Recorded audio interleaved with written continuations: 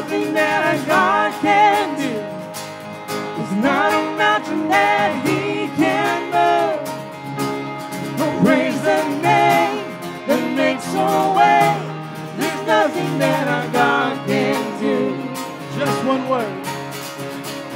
Just one word.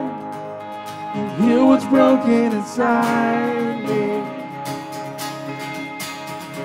Just one word. and You revive every dream.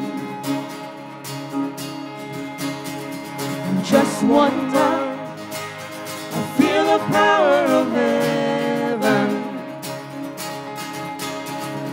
Just one touch, my eyes are open.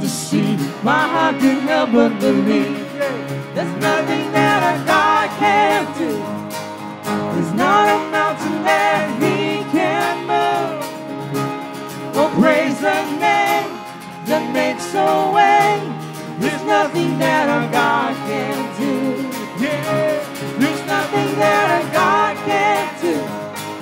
There's not a prison wall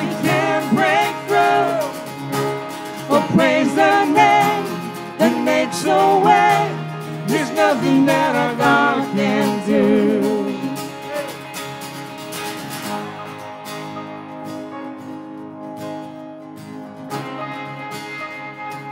And I will believe. And I will believe for greater things. There's no power like the power of Jesus. Let faith arise. Let all agree. There's no power like the power of Jesus. I will believe for greater things. There's no power like the power of Jesus. Let faith arise. Let all agree. There's no power like the power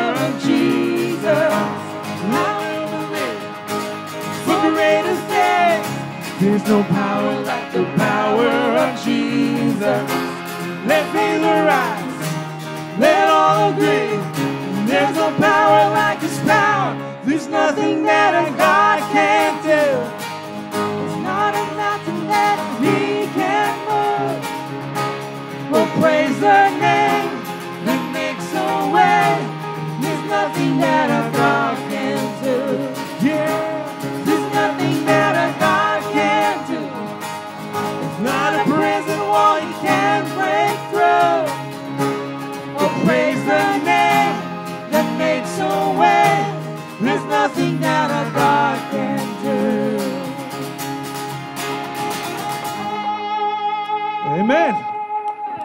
o'clock this morning.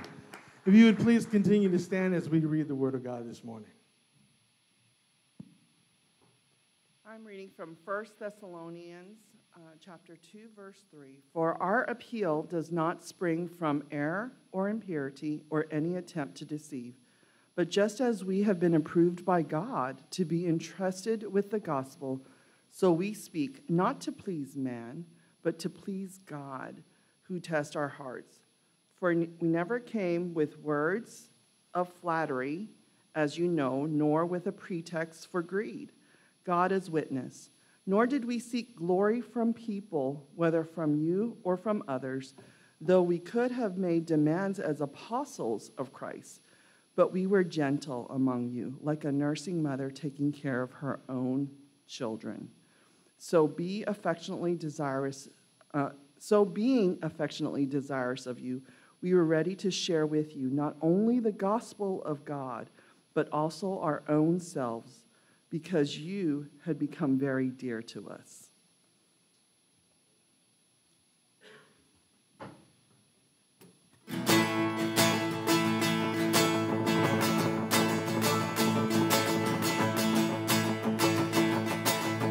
When all I see is the battle. Come on. When all I see is the battle, you see my victory.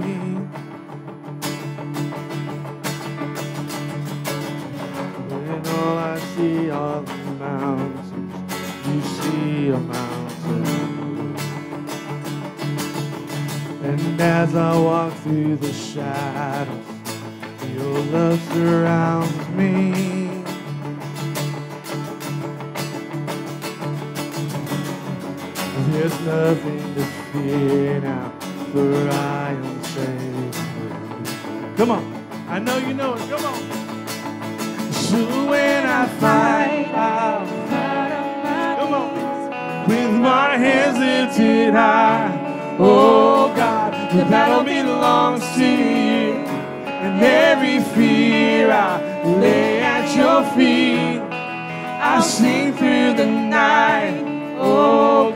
The battle belongs to you.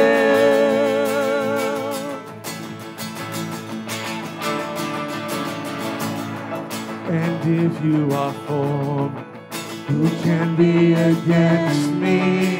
Hey.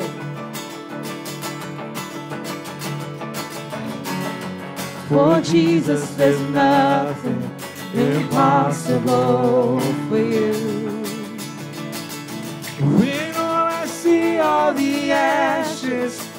You see the beauty.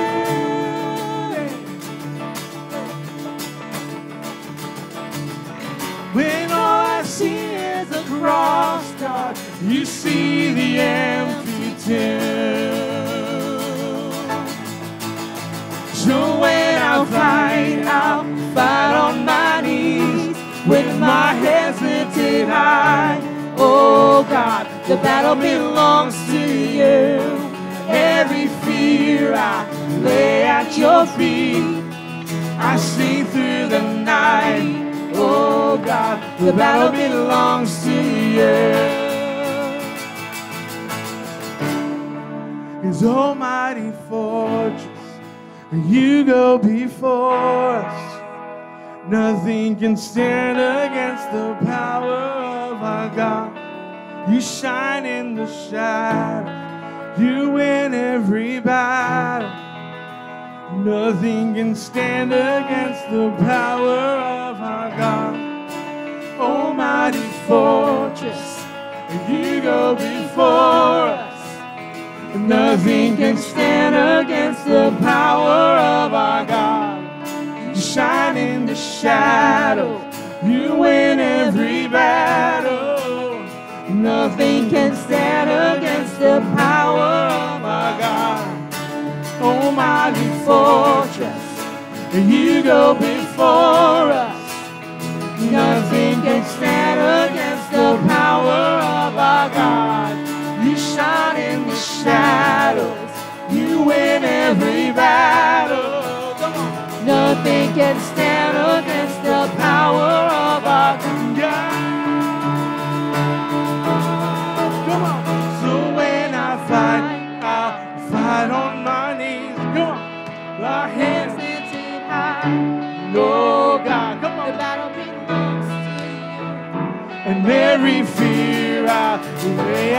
your.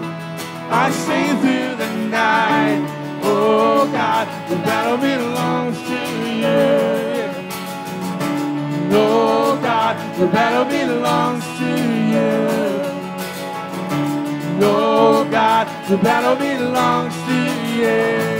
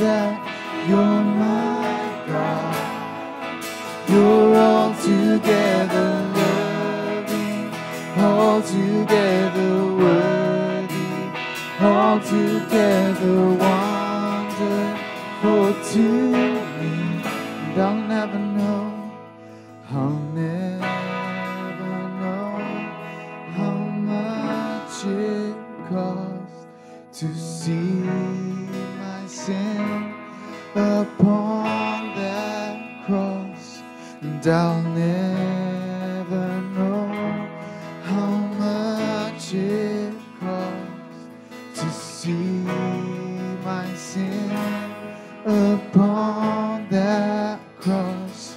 And I'll never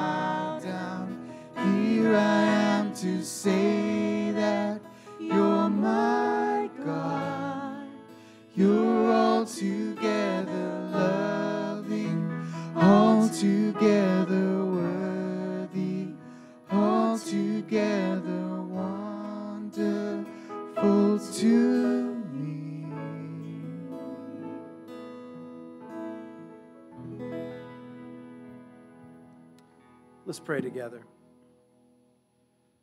Heavenly Father, we've gathered and we've just sung about your sovereignty and your goodness.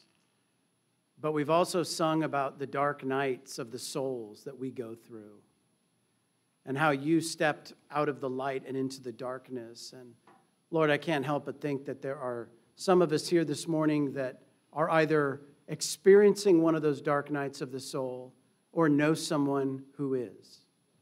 And so, God, those, those loved ones, those friends, those family members, those people in church, they weigh heavily on our hearts right now. And we just, in the quiet of our hearts, lift their names before you.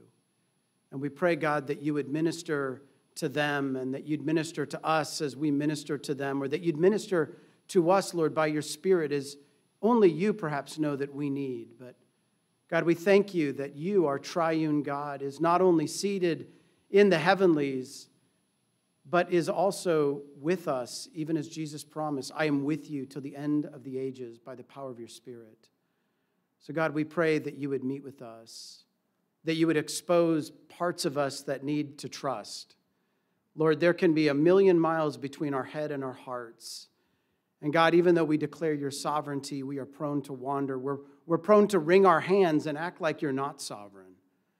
So, God, would you remind us even right now that you are in control, that you provide, that you love us, that in Christ you're for us, and that you have done everything necessary for us to stand fully forgiven, clothed in the righteousness of Jesus, even right now. God, we pray for our gathering that you would allow your word to go forth in power. We pray, Lord, that it would yield in us not only head knowledge, but obedience. We pray, God, for our classes, our professors, students, faculty, staff. We pray, Lord, that you would use Gateway Seminary for your glory and for our good and for the good of your churches. In Jesus' name we pray. Amen. Please be seated.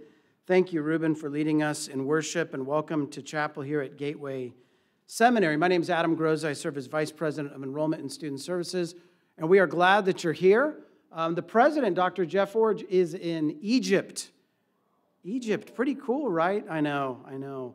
Uh, and so he is there, and we are praying for him and the, the group that's there. They're seeing some important historical sites and getting to know one another. And um, but this morning, we're privileged to gather for chapel, and I have some announcements, and then I'm going to introduce our speaker. So, in terms of announcements, the IMB Missions College is February 23rd through 25th, and that's going to be here in chapels featuring Dr. Paul Chitwood, the president of the IMB. So, we are honored to have that. This is no doubt going to be a full chapel that day. And so, this is going to be a hands on training event for pastors church leaders, mission trip participants, and any church members who are engaged in missions. So that's the IMB Missions College, February 23rd through 25th. On February 16th, Bart Barber, the president of the SBC, is going to be in chapel, and then we're going to be doing a leadership lunch with Dr. Barber. So you're going to need to sign up on Eventbrite for that, which is really easy. Just go to Eventbrite, type in Gateway Seminary, and you can sign up. It is free, but you have to sign up for that event. And then today, after chapel, we're having a leadership lunch in the Graves Room featuring Dr. Don Dent and Dr. Rich Johnstone talking about missions and church planning. If you did not sign up for that, there's about 10 seats left. So whoever gets there the fastest, no, I'm joking, don't do that. Calmly, after chapel, walk over there and just say, hey, can I have one of those 10 seats? And I'm sure that we've got space for you. Well, our chapel speaker today is, well, it's kind of an interesting story. So you might have come today expecting to hear Dr. Hance Dilbeck, the president of Guidestone. We found out from Dr. Dilbeck yesterday that apparently there's a storm in like everywhere else in America, except for here. Look outside. No storm here in Southern California. But there is a substantial snowstorm, I guess, or substantial for Texas. I guess like the smallest amount of snow just shuts down the entire state of Texas. Um, but uh, he had to cancel because his flight was canceled, it was unavoidable. And so we are very thankful to have in chapel today Dr. Jonathan Jarboe. He's our friend, he's a trusted and uh, just faithful ministry leader. He's president of the Baptist Foundation of California. He was elected in 2020.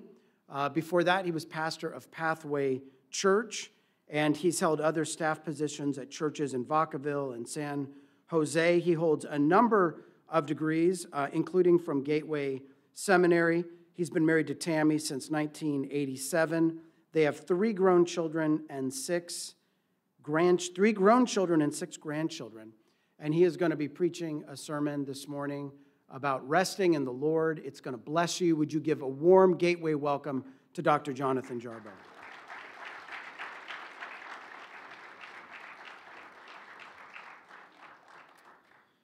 Well, thank you. It is a privilege to be here. Ruben, thanks for leading us in worship this morning with your team. Uh, just enjoyed uh, worshiping with you. And uh, Dr. Groza, thank you for the opportunity to bring the word this morning. Uh, yesterday morning, early out in the lobby, uh, Dr. Groza, we attend church together. We live uh, in the same community together. And he came to me yesterday morning and said, I preached Sunday at our church. And he said, Hey, something to the effect of, you know, enjoyed the message Sunday. We all need to hear it. And then he followed up with a little caveat, but to be honest, I probably won't apply a lot of it or something like that. and then he said, You can use that in a sermon illustration later if you'd like to. And then about an hour later, I got a text from him that said, Our chapel speaker is canceled. Would you be willing to preach the sermon you preached Sunday in chapel? So I went home and told my wife this story, and she said, Well, Adam is getting his second chance. So I love Gateway, and uh, I'm a proud graduate and grateful to be with you this morning. As Adam said, I want to talk this morning about resting, about slowing down, about busyness and the pace of life that we face. There's a false image about those of us that live in Southern California. It's propagated by those of us that don't live here. And the image is there's palm trees, the ocean, calm waves, and everybody that lives in Southern California is pretty chilled, laid back, and it's an easy life. Those of us that live here know the pace of life in Southern California is much different than, than, that. In fact, we're a haven for workaholics. We're a haven for people who have their kids in four sports, theater, the Y, and a whole bunch of other things, and life is out of control. In fact, some in our society would even say that they prefer work over recreation. I think those people are a little messed up. I don't know what's up with them, but they're a little crazy uh, every once in a while, and as a pastor, I would hear stories from people. They, they say it sort of braggadociously. I haven't taken a vacation in five and a half years. You've heard that. What's wrong with those people? You know, wake up. Uh, we are a haven for people that are way too busy, for workaholics, people that, that our lives just always seem out of control. Let me do an informal question here. I did this with our church Sunday. You might be too busy if. Um, here's the first one you might be too busy if you're always in a hurry. Check. Ouch.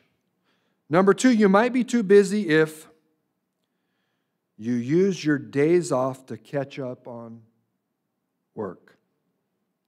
Check. Ouch. You might be too busy if people often tell you to slow down ah, check, ouch. You might be too busy if you feel guilty when you relax. Or you might be too busy if you do laundry, cleaning, or handle the bills for your family when everybody else is gone to sleep. I said that to my wife, and she said, Well, if you have children, that's the only time you can do some of those things. So, so I get that. My wife added a couple for me. She said, You ignore people. Yeah, our wife added them. You, you're too busy because you ignore people to check email on your phone, or you allow your phone to interrupt conversations with family and people that are important in your life. So, how do we slow down? How do we live a balanced life like God intended for us to live? Let me read our text this morning. It's out of Psalm chapter 23, just three verses. Most of you could quote it with me, all six verses but since we have a variety of translations you probably read out of. Let me read Psalm chapter 23. If you have a Bible or digital device, use open it to Psalm 23. I want to read the first three verses. I'll read out of the ESV translation. The Lord is my shepherd. I shall not want. He makes me lie down in green pastures. He leads me beside still waters. He restores my soul. He leads me in paths of righteousness for his name's sake. God wants us to slow down. Even reading that at a slow, moderate pace for some just brings a sense of calm and helps us recognize the fact we need to slow down. Sometimes the most spiritual thing you can do is to slow down, to relax, maybe even recreate with your family. Now, let me clarify I'm not advising being lazy. I'm not advocating that you shouldn't provide for your family. I'm not advocating that you should be irresponsible. The key is balance in life. Now, before we look at this passage a little more in detail, uh, a few of you know me. You know that my wife and I, Tammy, we go fast and hard. But over the years, there's been four things that, that we have done in our lives, just a rhythm that we've built into our lives that, is, that have helped us with this. And I want to share it, and then we'll look at the passage of Scripture. The first thing we've done is we begin nearly every day reading God's Word. We've done this for 30 plus years. We modeled it for our kids this morning at about 6:30. I was at our kitchen table with a cup of coffee reading God's word. Nearly every day. Second thing we do is we exercise, excuse me, regularly. We get up and ride our bikes early, or we take a walk in the evening, or we go for a hike on the weekend. We exercise regularly. Thirdly, we protect one day a week as our Sabbath. Now, those of you that are in ministry, your pastors, your professors, you often preach on Sunday. Sunday's not always a good Sabbath. For us, for many years, our Sabbath was on Friday because I preached often on Sunday, and I would protect that day. And finally, Tammy and I build recreation into our lives on a regular basis. And when we fail to do these things, verse 2 of Psalm chapter 23 uh, comes to roost in our lives because the psalmist says, He makes me lie down in green pastures. Keyword makes. Sometimes God has to make us slow down. Some of you can recognize that or say amen to that because He's done that in your life. God in Psalm 23 is referring to rest, recreation, slowing down, having some balance in our lives. He doesn't want you to be so busy that you don't have time for the other things that should be more important than your career and the busyness of life. A CNN poll recently said that 60% of Americans would like to slow down and relax more, but don't know how. Another poll I read just a week ago said that 55% of American workers don't use all of their vacation each year. Today, we're working more and often enjoying life less. So, how do we slow down? I want to give you four truths that I believe come from Psalm chapter 23. Here's the first one the first thing we need to do is to trust God to take care of us. I've got to learn to trust God to take care of me. Verse 1 says, The Lord is my shepherd.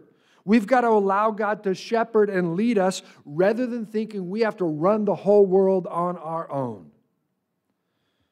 For those of you that are control freaks like me, this is difficult. You know, sheep trust and rely on their shepherd. One of the reasons we're so busy and overworked is because we confuse our work with our worth. And we think we have to work, work, work in order to have worth in our lives.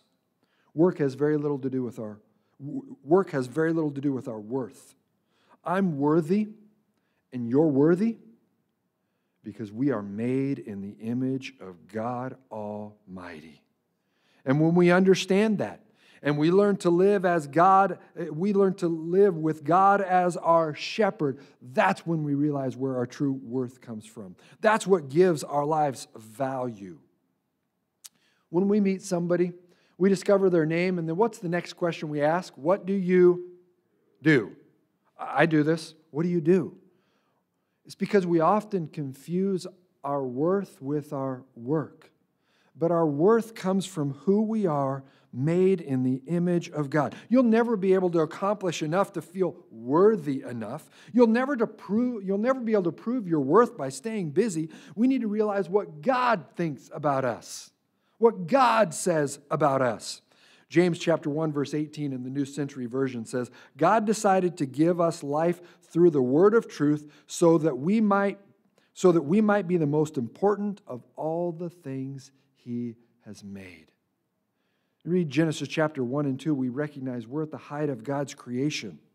You don't have to prove your worth. You were made by God in His image, and that makes you inherently valuable. Don't spend your life spinning the wheels trying to win the approval of others. You don't need the approval of others. You need to realize how valuable you are to God. Jesus, in Matthew chapter 6 said this. I'll read out of the Living, paraphr- Living Bible. Jesus said, Look at the birds. They don't worry about what to eat, they don't need to sow or reap to store up food, for your heavenly Father feeds them, and you are far more valuable to Him than they are. If God notices when a little bird falls to the ground and takes care of all the birds, don't you think He'll take care of us? Let me give you three truths. You'll never on this earth completely understand how much God loves you. We study the scripture, We learn who God is and we try to understand how much God loves us, but we'll never completely understand that on this earth. Here's the second truth there's nothing that you can ever do on this earth to make God love you more than He already does. And the converse of that is there's nothing that you can do that will ever make God love you any less than He already does. God's love isn't based on our performance, on how much you do or don't do, or how busy you are or how busy you aren't. Isaiah chapter 49, verse 16, in the Good News uh, paraphrase says this It's God speaking. I can never forget you. I've written your name on the palms of my hands. Jesus died on the cross. They nailed him to a cross, and those nail scar hands is where your name is permanently written. He can never forget how much He loves us, and we never want to forget how much He loves us by what He did on the cross. Here's the second truth. If I want to slow down in life, if I want to have balance in life and rest in who God is and who He's made me to be, then I have to learn to be content. The second half of verse 1, just four words, says, I shall not want. Let those four words seek in. Those four words are difficult for us in our Western world because we're driven for more and more and more.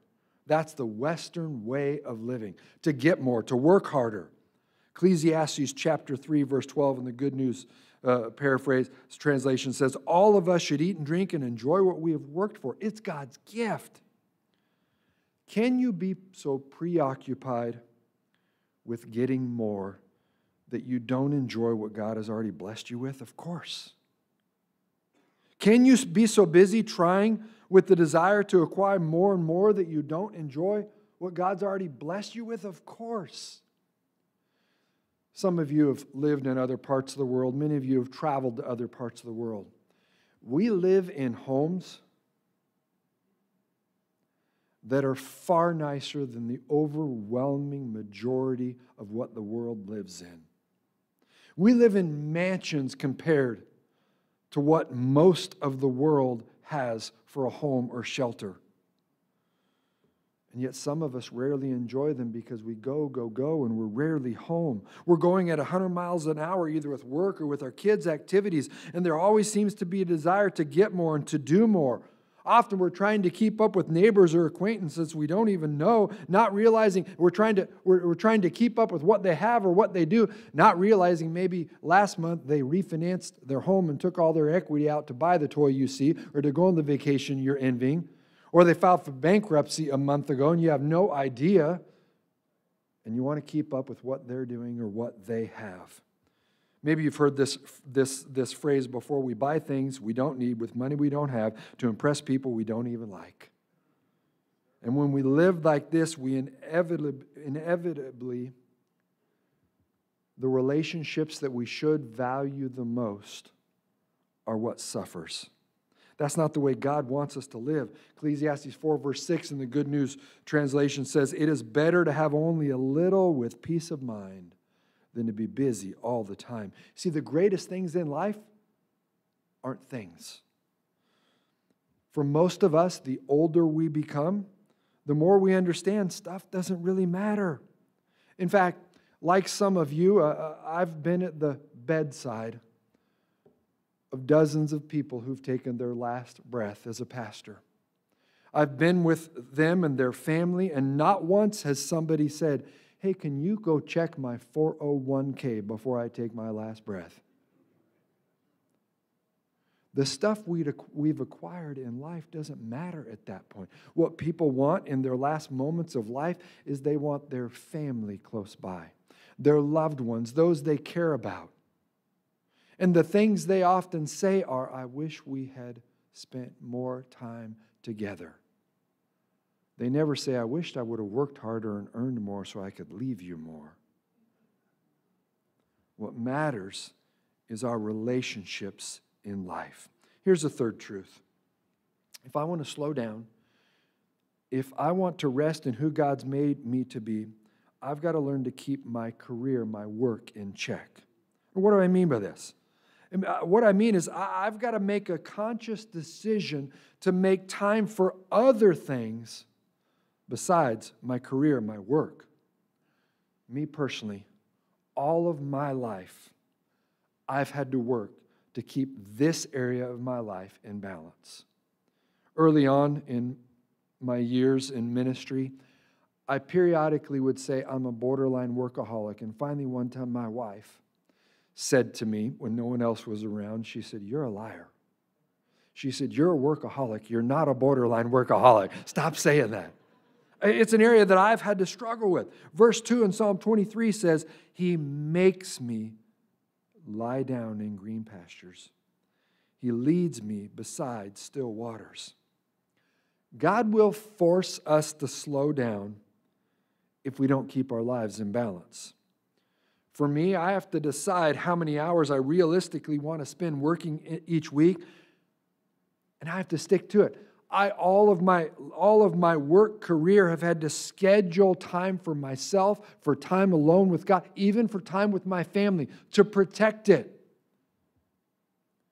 These are the other priorities in my life that are really more important than work and a career, than the busyness of life.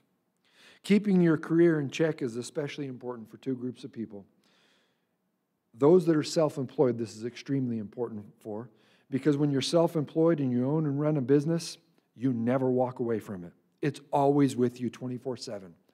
The second group of people that this applies to are the majority of the people in this room, and that is those of us in ministry that lead organizations, that lead ministries, because we're always on call.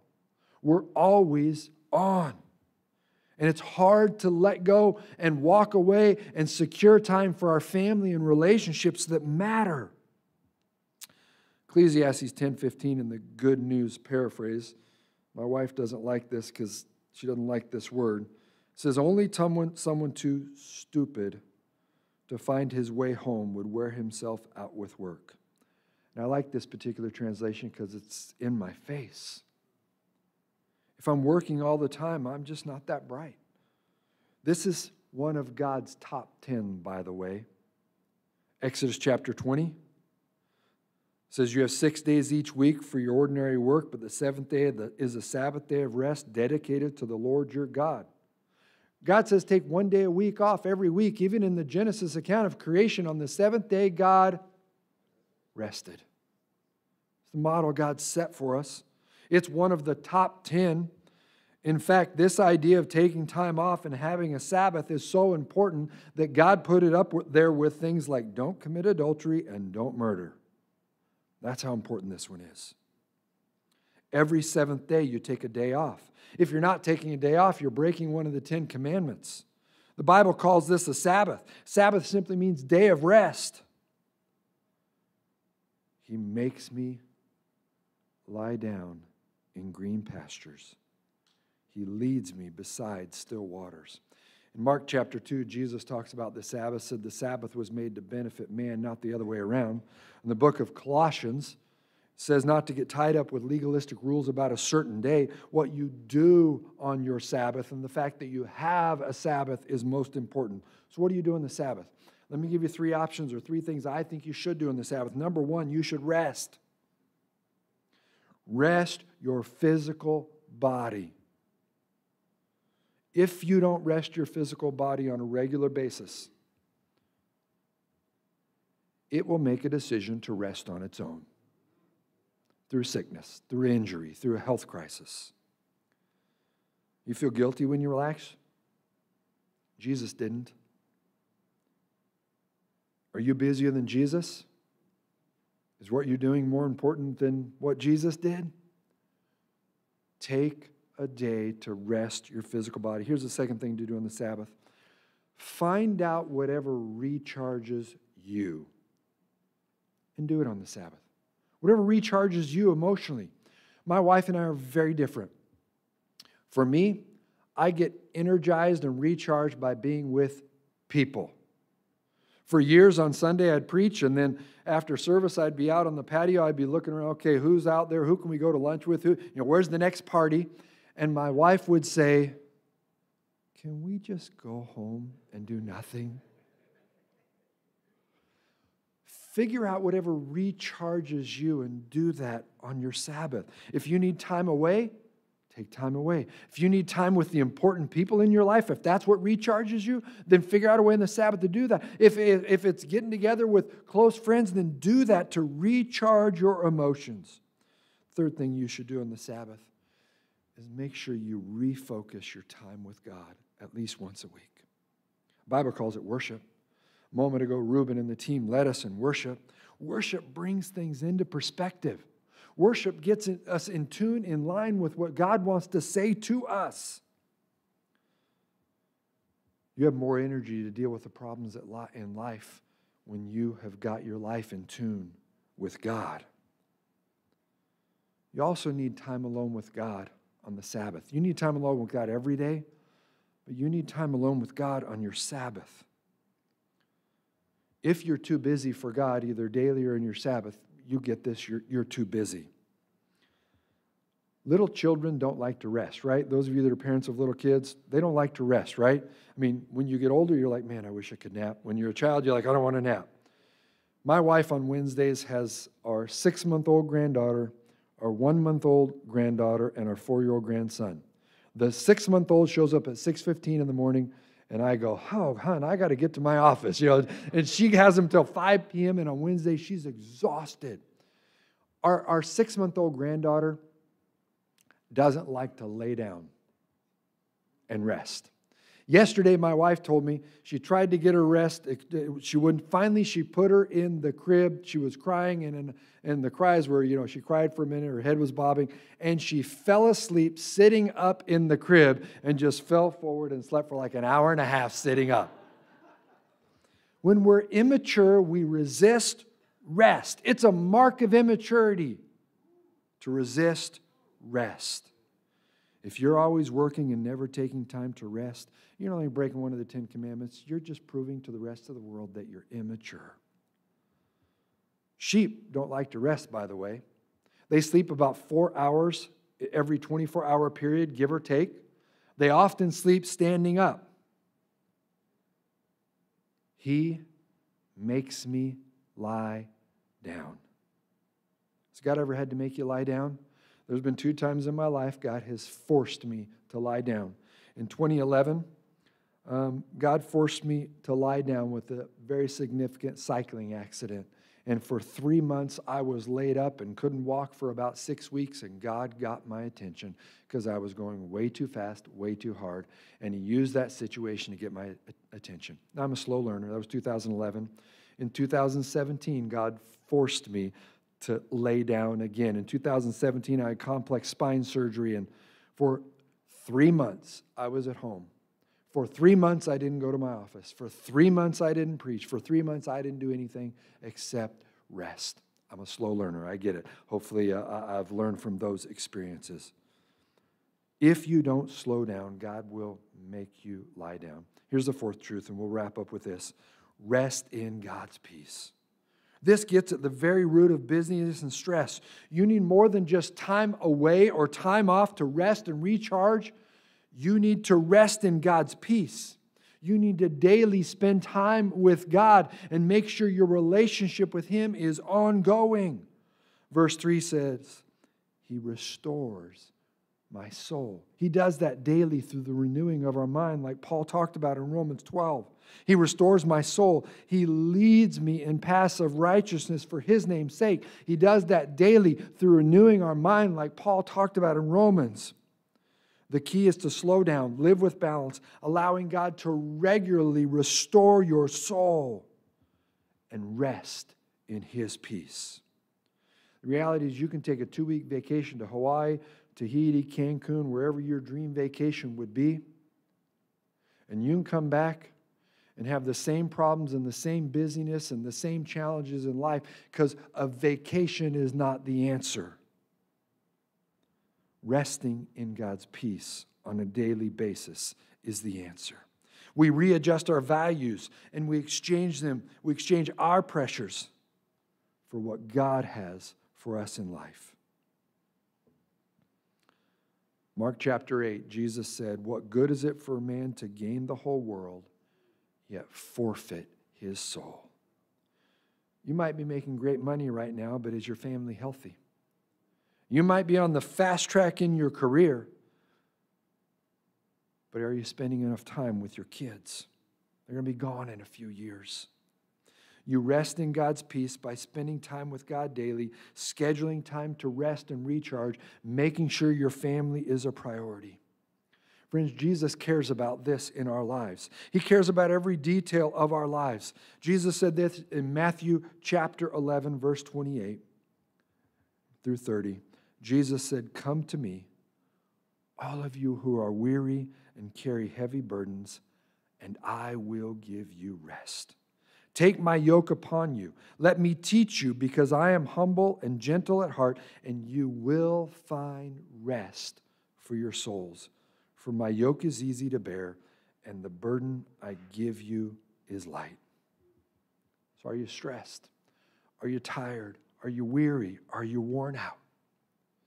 Jesus simply says, Come to me. Let's pray. Father, I pray that you would give rest to our weary souls. Father, I pray that through the reading of your word today and the study of your word, that you would challenge us to make adjustments in our lives to line up with you and your word. Father, help us to realign our priorities with your priorities for our lives so we can be better at the jobs you have called us to, so we can be more effective at leading the churches you have called us to, so we could be more effective professors, so we could be examples to those that you've called us to lead of what a balanced life looks like. Resting in you, caring for our family, spending time with you daily. We pray these things in the wonderful, powerful name of Jesus. Amen. Let's all stand together. Never know how much it costs to see my sin upon that cross. I'll never know how much it costs to see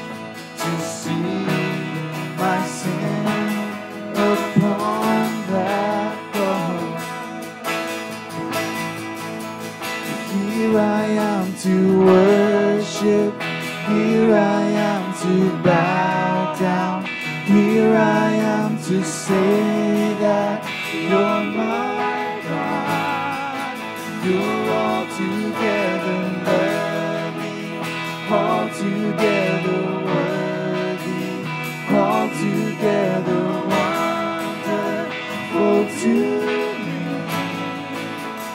Here I